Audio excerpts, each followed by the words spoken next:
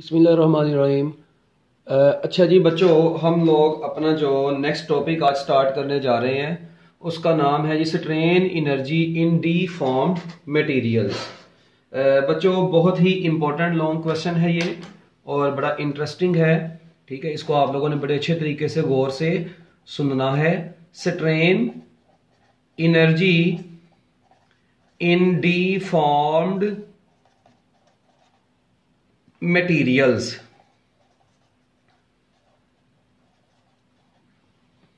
लो जी बच्चों, ये लॉन्ग क्वेश्चन है। अक्सर का पेपर में ये लॉन्ग क्वेश्चन में मुँह उठा के आ जाता है।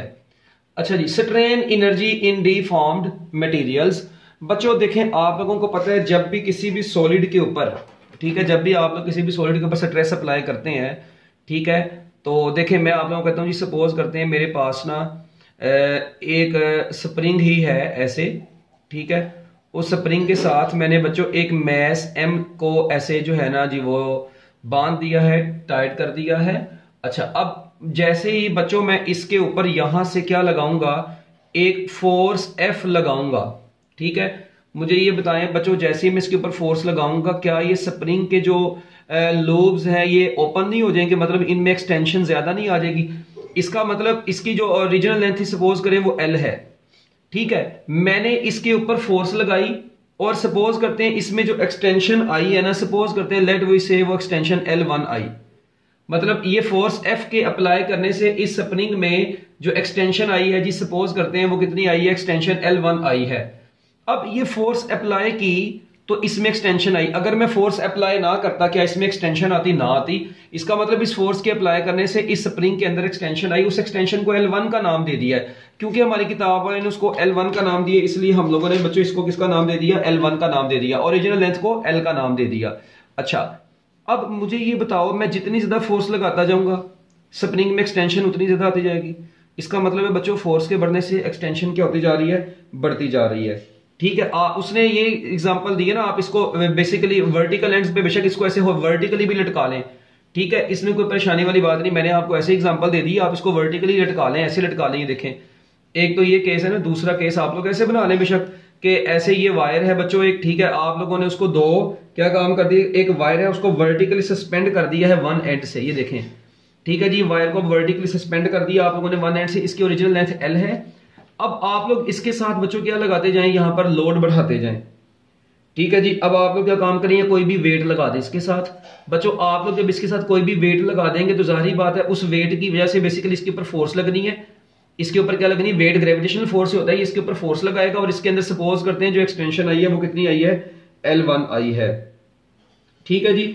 अच्छा या अब हमारी बुक वाले ने उसको हाँ एल वन का नाम दिया, इसलिए हम लोग भी इसको एल वन का नाम देते हैं। अच्छा अब आप लोगों ने बच्चों यहाँ पर एक चीज़ पे गौर करना है कि अगर मैं इस फोर्स और एक्सटेंशन के दरमियान में फिर ग्राफ प्लॉट करता हूँ ना, जब मैं इसके वायर के ऊपर फोर्स भी लगा रहा हूँ इसमें एक्सटेंशन भी आ रही है, बच्चों, जब मैंने फोर्स और एक्सटेंशन के दरमियान में ग्राफ प्लॉट किया तो बड़ा अजीबो गरीब किस्म का ग्राफ मेरे सामने आया।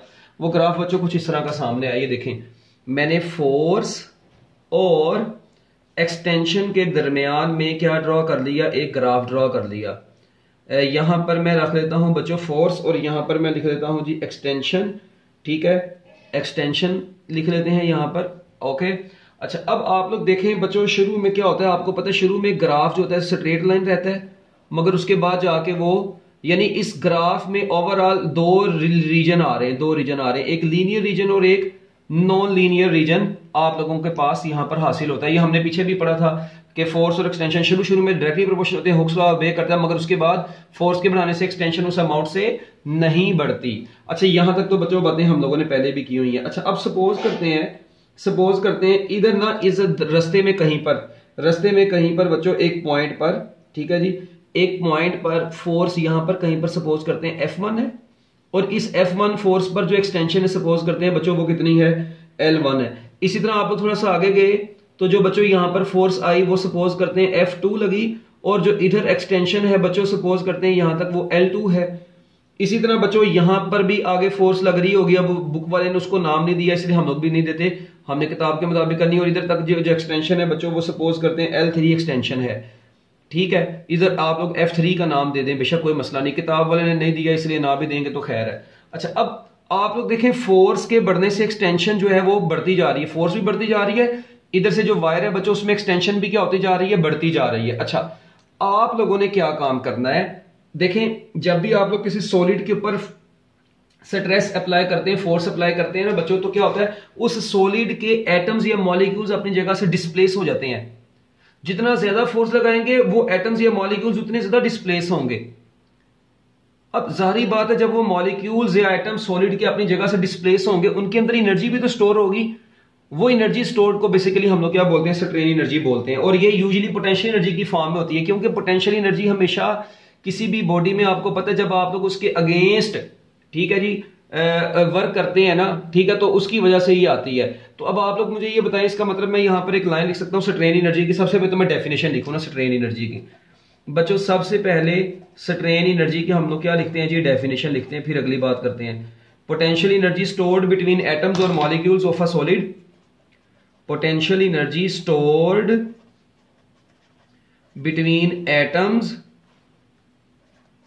or molecules of a solid or molecules of a solid due to their due to their displacement due to their displacement from mean position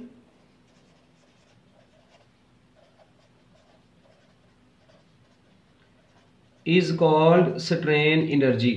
बच्चों एटम्स या मॉलिक्यूल्स ऑफ़ अ सॉलिड जब अपनी जगह से क्या हो जाते हैं डिस्प्लेस हो जाते हैं। ठीक है जी? So potential energy stored between atoms और molecules of a solid due to their displacement from mean position जब आप लोग किसी सॉलिड के ऊपर स्ट्रेस अप्लाई करते हैं तो उसके मॉलिक्यूल्स अपनी जगह से डिस्प्लेस हो जाते हैं। तो उस एनर्जी को जो उस वक्त स्टोर होती है, उसके अंदर हम लोग उसे क्या बोलते हैं स्ट्रेन एनर्जी आप लोगों ने बच्चों, ये स्ट्रेन एनर्जी का फार्मूला कैलकुलेट करना है। डी फॉर्म मटेरियल से मुराद देखिए, आप लोगों ने फोर्स अप्लाई की, उसके अंदर डिफॉर्मेशन आती गई।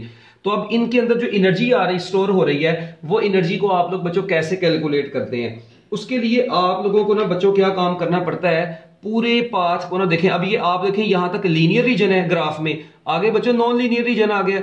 आप लोग पूरे पाथ को ना आप देखें। पहले आप, इसका मतलब है area under force extension graph आपको पता है किसकी वैल्यू देता है? अपना वर्क डन की वैल्यू देता है। और वो वर्क डन जो हम लोग सॉलिड के ऊपर कर रहे हैं, वही एनर्जी की फॉर्म में उसके अंदर जाएगा। इसका मतलब है कि आप लोगों को इस ग्राफ के अंदर एरिया कैलकुलेट करना पड़ेगा सबसे पहले। ठीक है?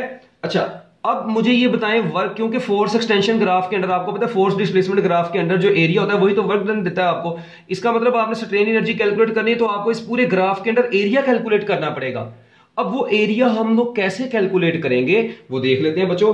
आप लोग देखें, अब आप लोगों ने ना चैप्टर नंबर फोर में पढ़ा था work done by constant force और work done by variable force वहाँ पर आपको याद होगा, मैंने work done by variable force की एग्जांपल में ये फोर्स एक्सटेंशन ग्राफ का आपको तब भी बताया था चैप्टर नंबर फोर में। अगर नहीं पता तो कोई बात नहीं, आप लोग यूट्यूब के ऊपर जाकर वो लेक्चर देख भी सकते हैं फोर्स एक्सटेंशन ग्राफ अगर नहीं देखना तो कोई मसला नहीं है। अच्छा अब आप लोग यहाँ पर ये देखें, सबसे पहले आप लोगों ने लिखनी है जिसकी डेफिनेशन अच्छा अब दूसरे नंबर पे बच्चों आप लोगों ने। अब इसके ना, इसका मतलब टू फाइंड अब आप लोगों ने क्या कैलकुलेट करनी है? स्ट्रेन एनर्जी कैलकुलेट करनी है।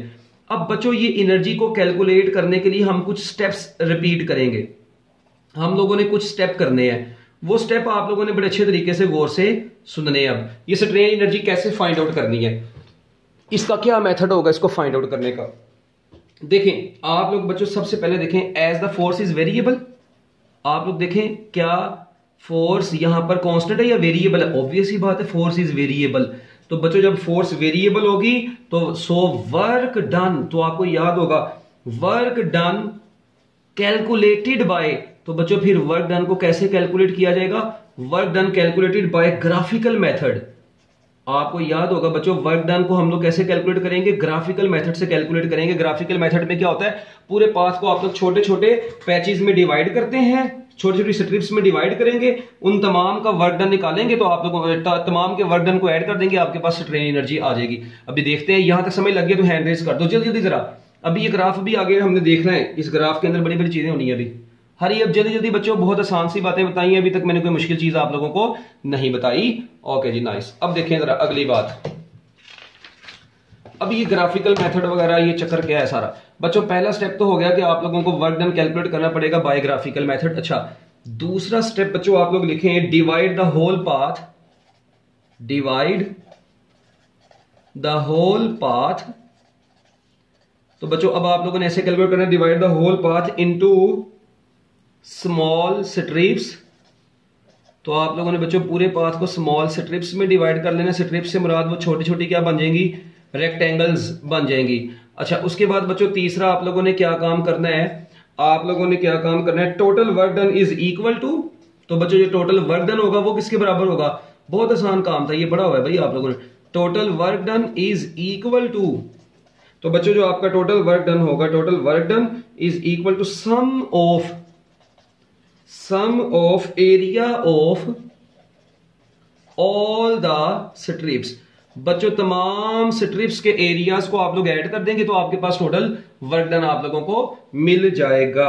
अब आपको पता है, चौथा स्टेप में यहाँ पर ये लिखने लगा हूँ कि area of force displacement graph as area under force ठीक है जी फोर्स एक्सटेंशन ग्राफ या force displacement graph gives the value of work done gives the value of work done बच्चों, जो area under force extension graph या force displacement graph होता है, ये आपको किसकी वैल्यू देता है जी? ये आपको वर्क डन की वैल्यू देता है। तो बच्चों, अब मुझे ये बताएँ, आप लोगों ने ना, हम लोगों ने सपोज़ किया है सिर्फ़ we are going to calculate अभी we are going to calculate calculate work done we are going to calculate work done up to extension L one बच्चों हम लोग ना अभी जो वर्क कैलकुलेट करने जा रहे हैं वो सिर्फ़ और सिर्फ़ एक्सटेंशन L1 तक का वर्क कैलकुलेट करने जा रहे हैं। देखें आप लोग देखें L1, L2, L3 भी आई थी सारी एक्सटेंशन आई थी। हम लोग बच्चों अभी सिर्फ़ और सिर्फ़ किसके अंडर वर्क कैलकुलेट करने जा रहे हैं? हम लोग ये देखें वर्क डन कैलकुलेट करने जा रहे हैं बच्चों, कहाँ तक का एक्सटेंशन एल तक का, बस। ठीक है, यहाँ तक का। अब आप लोग देखें, ये बेसिकली जो एक्सटेंशन एल भी मैंने बनाई है ना, इसको भी आप लोग कैसे कैलकुलेट करेंगे? बल एक्सटेंशन एल तक को बच्चों आप लोग फिर क्या काम करेंगे? ऐसे छोटी छोटी स्ट्रिप्स के अंदर डिवाइड कर देंगे, ऐसे। ये स्ट्रिप्स के अंदर बच्चों डिवाइड करेंगे। अब हर स्ट्रिप ये देखें, ये सपोज़ ये देखें सपोज़ करते हैं, ये स्ट्रिप में यहाँ पे कंसीडर करता हूँ। ये स्ट्रिप मैंने बनाई बच्चों, इस स्ट्रिप की सपोज़ करते हैं लेट वी से इस स्ट्रिप की जो अकेली एक्सटेंशन है, वो डेल्टा एक्स है। और इस एक्सटेंशन के लिए जो फोर्स है ना बच्चों, वो एफ़ है। देखें, अब मैं ना एक बड़ी टेक्निकल बात आपको बताने लगा अगर आपको याद हो ना, वहाँ पर भी हम लोगों ने पूरे पाथ को ना ऐसे छोटे छोटे पैचेज में क्या किया था? डिवाइड किया था ऐसे। और हर पैच को बाद में आप लोगों ने देखा था, हर पैच की फोर्स लिखी थी डिस्प्लेसमेंट लिखा था, उसका एंगल लिखा था। बच्चों, इसी तरह देखें, पूरे पाथ को इसको ओ का नाम दे दें, इसको आपकी किताब वाले ने बी का नाम दिया है, इसको ए का नाम दिया है, इसको सी का नाम दिया है, इसको डी का नाम दिया है, इसको एच का नाम दिया है, इसको जी का नाम दिया है। आप लोग अपनी मर्ज़ी से भी नाम दे सकते हैं, मगर किताब वाले देंगे, क्योंकि आप लोगों ने बोर्ड का पेपर लिखना है वहाँ पे। अच्छा अब देखें, अब हम लोग सिर्फ़ एल वन तक का वर्क कैलकुलेट करें, क्योंकि हमारी किताब वाले ने एल वन तक का किया, उसने आगे एल टू एल थ्री तक का नहीं किया।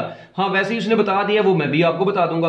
अब आपने तो अपनी बुक के मुताबिक करना है। अच्छा अब यहाँ से यहाँ तक का आपने वर्क मालूम करना एक्सटेंशन एल वन तक। तो आपने पूरे पाथ को बच्चों छोटे छोटे पैचेज में क्या कर दिया? डिवाइड कर दिया। अब जब आप लोगों ने पूरे पाथ को छोटे छोटे पैचेज में डिवाइड किया बच्चों, मुझे बताएँ क्या हर पैच का, हर पैच का वर्क निकलेगा? बिल्कुल होगा। अब हर पैच की देखें लेंथ जो है सपोज़ करें, इस पैच की लेंथ डेल्टा एक्स है। हर पैच के लिए फोर्स कंसीडर की जाती है कॉन्स्टेंट देखें, जिस तरह एफ़ वन था ना, पहले पैच की, दूसरे पैच की फोर्स थी एफ़ टू तीसरे पैच की थी एफ़ थ्री डिफरेंट पैचेस की डिफरेंट है, मगर हर पैच के लिए फोर्स को क्या कंसीडर किया जाएगा? कॉन्स्टेंट कंसीडर किया जाएगा। देखें, यहाँ पे सपोज़ करें वन टू थ्री फोर है तो ये पूरे पैच की फोर ही है। ठीक है? हर पैच की फोर्स कॉन्स्टेंट है डिफरेंट पैचेस की डिफरेंट होगी एक दूसरे से। और बच्चों, मुझे ये बताएँ, इस तरह आप लोगों ने क्या काम करना है? ये सारी छोटी छोटी रेक्टेंगल्स है, सबको ऐड करेंगे तो बच्चों, ये आप लोगों के पास ओवरऑल क्या आ जाएगा? इसके अंदर का एरिया आ जाएगा। मगर उसने ये भी काम नहीं किया, उसने हर पैच के अलग एरिया को कैलकुलेट नहीं किया। उसने क्या काम किया बच्चों? उसने ना आप लोगों के सामने सिर्फ़ और सिर्फ़ जो टोटल वर्क डन हुआ ना एक्सटेंशन एल वन तक, उसने क्या काम किया जी? वर्क डन उसने कहा जी, ये वर्क डन किसके बराबर होगा? ये वर्क डन बराबर होगा, जो टोटल वर्क डन आप लोगों ने किया है ये वर्क डन बराबर होगा one area of the area of triangle O A B बस। ये area of the triangle O A B के बराबर होगा। अब ट्राइंगल का एरिया होता है one over two base into height अब बच्चों, मुझे बताएँ, यहाँ पर बेस कितनी है? बच्चों बेस ये यहाँ पर है ओ ए और हाइट है बच्चों, यहाँ पर ए बी ठीक है? बेस ओ ए और हाइट क्या है? ए बी तो बच्चों, जब आप लोग इसको कैलकुलेट करेंगे one over two F into L one बच्चों, ये आपके पास वर्क डन आ गया है one over two F into L one force into extension ये आ गई है बच्चों फोर्स और ये एल वन बच्चों, क्या है? एक्सटेंशन है आप लोगों के पास जो आई है. सो बच्चों वर्क डन बराबर आया है फोर्स इंटू एक्सटेंशन ये अब आप लोगों के पास वर्क डन आ गया है बच्चों एल वन तक का. देखें, उसने बोला कुछ और था, किया कुछ और है. ठीक है ना? तो अब जो बुक वाले ने किया जारी बात है, आपने भी वही करना है। अच्छा जी। अब बच्चों, ये वर्क डन आपके पास बराबर आ गया वन ओवर टू ठीक है जी? O A into A B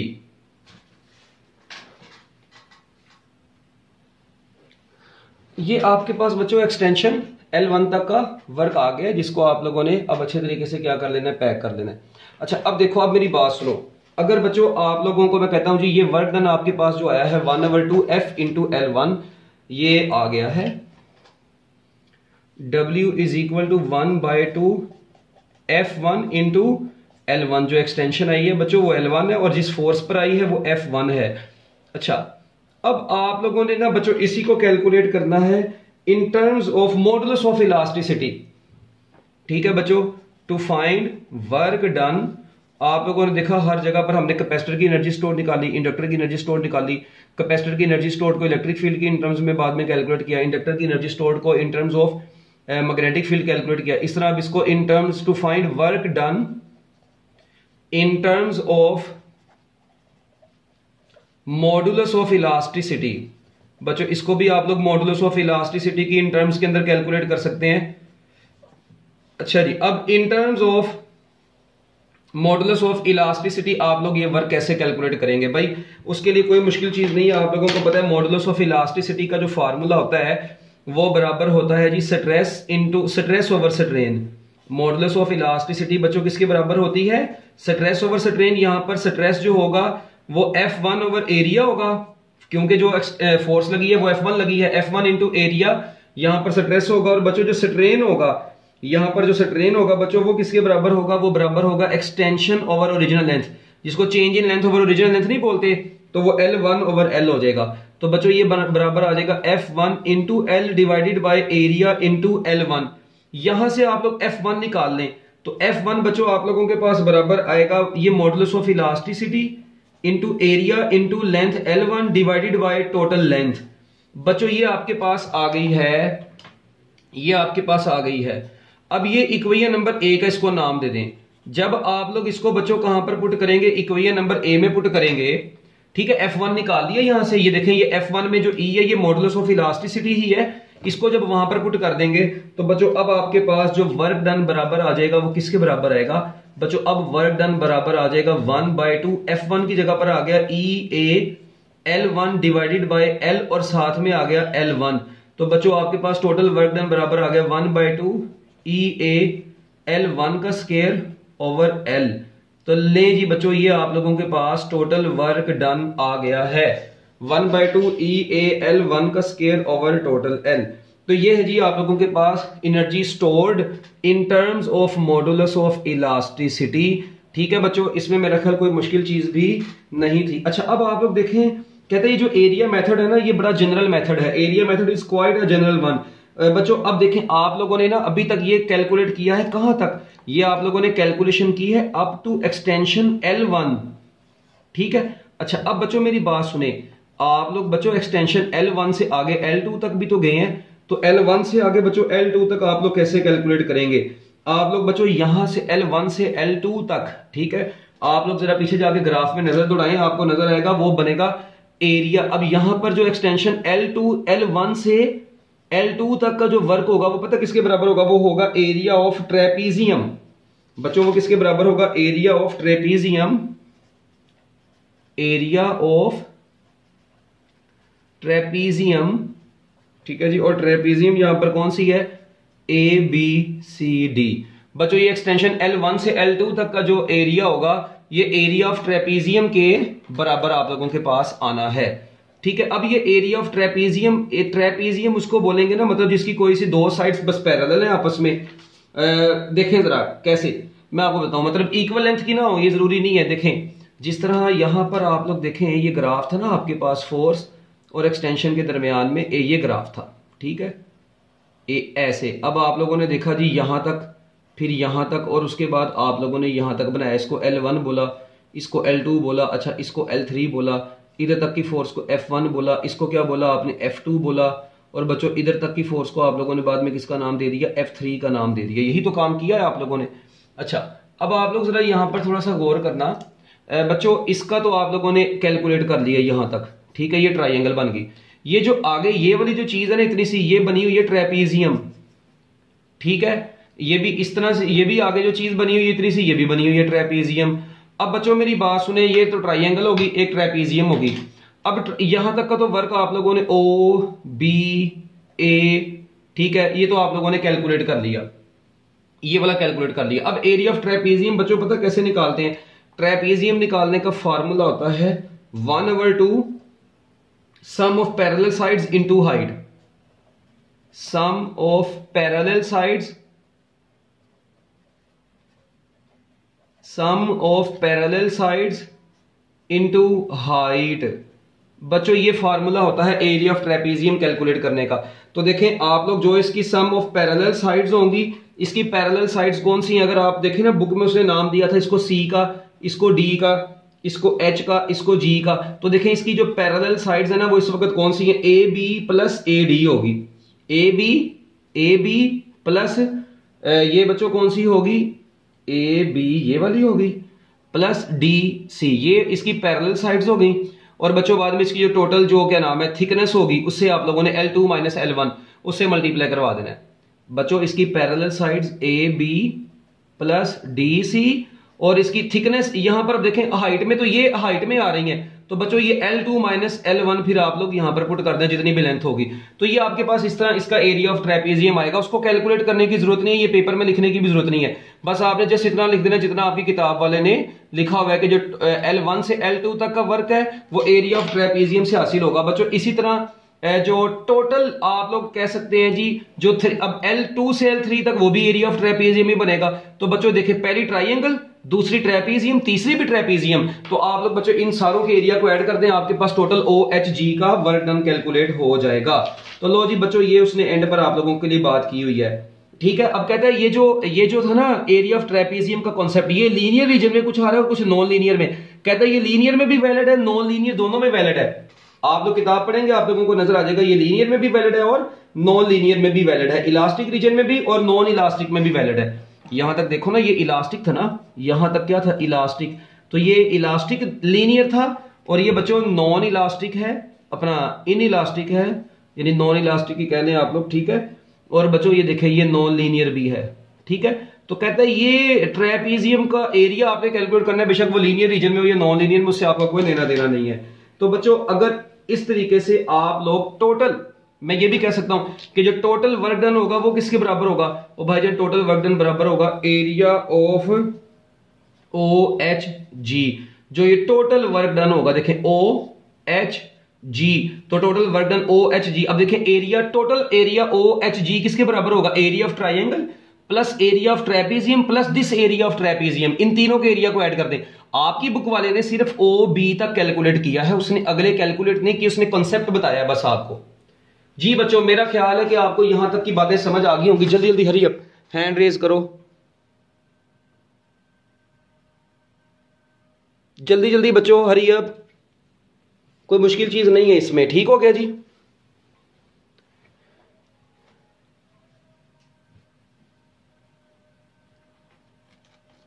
okay बच्चों, लो जी। ये अच्छा अब ना एक और बड़ी इंटरेस्टिंग चीज़ है बच्चों यहाँ पर। इधर से एमसीक्यूज बड़े इंटरेस्टिंग बनते होते हैं। देखिए, मैं आपको बताता हूँ स्ट्रेन एनर्जी से ही ना, ये तो आप लोगों ने बातें पढ़ ली। अच्छा अब ना एक बात बड़ी इंपॉर्टेंट जो आप लोगों को याद रखने वाली है, वो क्या है? बच्चों, ये जो फोर्स एक्सटेंशन ग्राफ होता है फोर्स और एक्सटेंशन का जो ग्राफ होता है अच्छा एक होता है स्ट्रेस स्ट्रेन ग्राफ एक होता है स्ट्रेस स्ट्रेन ग्राफ अच्छा अब इनका अब मेरी जरा आप लोगों ने तसली से बात सुननी है। बच्चों, देखें फोर्स एक्सटेंशन ग्राफ का जो एरिया होता है ना एरिया वो तो बराबर हो गया one over two F into L ठीक है? इसको आप लोगों ने नाम दे दिया बच्चों स्ट्रेन एनर्जी का। इसको आप लोग क्या नाम दे देते हैं? स्ट्रेन एनर्जी का। अच्छा इसकी जब आप लोग स्लोप निकालते हैं तो ऊपर एफ़ नीचे एल आपको पता है F is equal to K L होता है, नीचे एल आ गया एल एल से कट गया। तो के बचा जिसको आप लोग स्प्रिंग कॉन्स्टेंट बोलते हैं। तो बच्चों, आप लोग देखें slope of force extension graph आपको क्या दे रही है? Slope of force extension graph ने बच्चों आप लोगों को दिया spring constant slope of force extension graph ने स्प्रिंग कॉन्स्टेंट दिया और area under force displacement graph ने आपको स्ट्रेन एनर्जी दी। बच्चों, इसी तरह स्ट्रेस स्ट्रेन ग्राफ का एरिया आपको क्या देगा? बच्चों, ये जो एरिया आएगा, ये बराबर आएगा वन ओवर टू हाँ ये length base into height stress into strain ये इसको बोलते हैं एनर्जी डेंसिटी ये, इसे बोलते हैं बच्चों एनर्जी डेंसिटी और जो इसकी स्लोप होती है ना स्लोप वो बराबर होगी स्ट्रेस ओवर स्ट्रेन वो आपको देती है मॉडुलस ऑफ़ इलास्टिसिटी तो लो जी बच्चों, यहाँ से बड़े इंपॉर्टेंट चीज़ फिर आप लोगों के सामने आई कि स्लोप ऑफ़ फोर्स डिस्प्लेसमेंट या slope of stress strain graph आपको क्या देती है? Modulus of elasticity area under stress strain graph आपको देता है एनर्जी डेंसिटी इसी तरह slope of slope of force extension graph इसको बोलेंगे F L graph force extension graph ठीक है? और जबकि इसे क्या बोलेंगे? इसे बोलेंगे स्ट्रेस स्ट्रेन ग्राफ ठीक हो गया? ले जी स्ट्रेस स्ट्रेन ग्राफ आया और एक आया फोर्स एक्सटेंशन ग्राफ ये दो ग्राफ आप लोगों के सामने आए हैं। तो अब मुझे एक बात बताओ बच्चों, ये जो one over two stress into strain है, इसको एनर्जी डेंसिटी क्यों बोलते हैं? बच्चों, आप लोगों को पता है, मैं इसका छोटा सा प्रूफ करवाता हूँ। इनर्जी डेंसिटी जो होती है ना, वो एनर्जी ओवर वॉल्यूम होती है। इनर्जी डेंसिटी बच्चों, किसके बराबर होती है? इनर्जी ओवर वॉल्यूम होती है। अच्छा अब इनर्जी डिवाइडेड बाय वॉल्यूम ये आ गया। अब मुझे बताएँ, जो इनर्जी निकाली है, वो तो निकाली है one over two E A L one का स्केयर ओवर एल और बच्चों वॉल्यूम आप लोगों को पता है वॉल्यूम जो होता है, वो एरिया इंटू लेंथ होता है। अच्छा अब एरिया एरिया से कट गया, आपके पास बच गया one over two E L one square over L square ये बचेगा ये एरिया एरिया से कट गया ना और एल एल से मल्टीप्लाई हो गया एल स्केयर बन गया। अब ये आप लोग इतनी सी चीज़ को देखें ये जो ये चीज़ है ना इतनी सी one over two modulus of elasticity ये है extension change in length over original length इसको मैं बोलूँगा स्ट्रेन का स्केयर क्या बोल दूँगा स्ट्रेन का स्केयर बोल दूँगा अब जो ई e होता है बच्चों ई e, ये आपको पता है ये होता है स्ट्रेस डिवाइडेड बाय स्ट्रेन ये होता है स्ट्रेस ओवर स्ट्रेन और जो मॉडुलस ऑफ़ इलास्टिसिटी होती है ना बच्चों, ये ये सॉरी ये इस ट्रेन का स्केयर ये स्ट्रेन एक स्ट्रेन से कट गया तो one over two stress into strain आप लोगों के सामने आ गया। तो बच्चों, ये आप लोगों के सामने आया है one over two stress into strain तो देखें एनर्जी डेंसिटी इसी को बोलते हैं one over two stress into strain तो याद रखना area under area under stress strain graph gives the value of energy density और इसी को आप लोग बाद में, आप देखें सिग्मा की जगह देखें, एक ये फॉर्मूला बना स्ट्रेन का square into modulus of elasticity आप लोग बच्चों क्या काम करें, इधर ही सिग्मा की जगह पर दोबारा वैल्यू पुट करके ना तो आप लोग यहाँ से इसके डिफरेंट रिलेशन भी निकाल सकते हैं। खैर, अभी आप लोग उसको खैर छोड़ दें। वो एंटीटेस्ट की बातें हैं, वो बाद में भी देखी जाएँगी। वो एंटीटेस्ट का प्रॉपर लेक्चर है पूरा। इसके ऊपर आप लोग जो है ना यूट्यूब से सर्च भी कर सकते हो। इसका पूरा एंटीटेस्ट का लेक्चर भी आप लोगों को मिल जाएगा। तो ये बच्चों, आप लोगों के पास ये एक्स्ट्रा चीज़ थी, ये पेपर मैंने लिखनी जस्ट आपको मैंने एंट्री टेस्ट के हवाले से कुछ बातें बताई हैं, ठीक है? एम एमसीक्यूज के हवाले से बताए हैं। अच्छा एक बात और जाते जाते देखें, अगर मैं अब आप लोगों से कहता हूँ, जी, आप लोगों के पास फोर्स एक्सटेंशन ग्राफ है, यहाँ पर, ये देखें। सॉरी अपना स्ट्रेस ट्रेन ग्राफ है, आपके पास दो डिफरेंट मटेरियल्स का। ठीक है, ये बी है मटेरियल ये ए मटेरियल है, इसका बच्चों एंगल 30 डिग्री है, बच्चों, इसका एंगल कितने डिग्री है? 60 डिग्री है। मैं आपको कहता हूँ, जी बताएँ जी, इसकी modulus of elasticity of A और modulus of elasticity of B ratio क्या होगी? तो बच्चों, आप लोग कैसे कैलकुलेट करेंगे? आपको पता है slope of stress strain graph gives the value of elasticity modulus of elasticity तो आप लोग लिखेंगे E A is equal to tangent theta A और ई e बी आप लोग क्या लिखेंगे? टेंजेंट थीटा बी ठीक है? तो लो जी बच्चों ई ए ओवर ई बी किसके बराबर होगा फिर? हाँ जी टेंजेंट थर्टी डिग्री और ये किसके बराबर होगा बच्चों? टेंजेंट सिक्सटी डिग्री के बराबर होगा। ये नो ज़ीरो ज़ीरो से काटा, थ्री, सिक्स से काटा टेंजेंट टेंजेंट से काटा, चर्सी लोगों ने। और भाई ई ए ओवर ई बी अब जो टेंजेंट थर्टी डिग्री होता है, ये आपको पता है one over under root three होता है, और tangent sixty under root three होता है। तो ये one over under root three का होल स्केयर बन गया, जो कि आंसर आ गया वन रेशो थ्री तो बच्चों, इसका मतलब मैं कह सकता हूँ E B is equal to three times E A आया। ये आप लोग चेक कर सकते हो भाई, ये ई बी इधर ले जाओ थ्री को इधर ले जाओ तो ई बी आ गया थ्री टाइम्स ई ए इसका मतलब जिसका एंगल ज़्यादा होगा, उसका मॉडल्स ऑफ़ इलास्टिसिटी ज़्यादा होगी। तो अब ये ऐसे रेशो भी आपको आ सकती है कि ई ए ओवर ई बी निकालें, या ई बी ओवर ई ए निकालें, या वो आप लोगों से पूछ भी सकते हैं कि कौन सी बड़ी है मॉडल्स ऑफ़ इलास्टिसिटी तो बच्चों, जिसका एंगल बड़ा होगा, उसकी मॉडल्स ऑफ़ इलास्टिसिटी भी ज़्यादा होगी। तो E B is greater than E A कितने टाइम्स थ्री टाइम्स है। तो बच्चों, ये भी एक छोटा सा एमसीक्यू यहाँ से बन जाता होता है, अक्सर पेपर में आ जाता होता है। तो लो जी बच्चों, मैं उम्मीद करता हूँ कि आप लोगों को ये मॉडल्स ऑफ़ इलास्टिसिटी की इन टर्म्स में एनर्जी निकालना भी आ गई होगी और इसके अलावा इसके जो छोटे छोटे एमसीक्यूज हैं, ये भी आप लोगों को समझ आ गए होंगे। तो ये था जी strain energy in deform materials अल्लाह हाफिज़।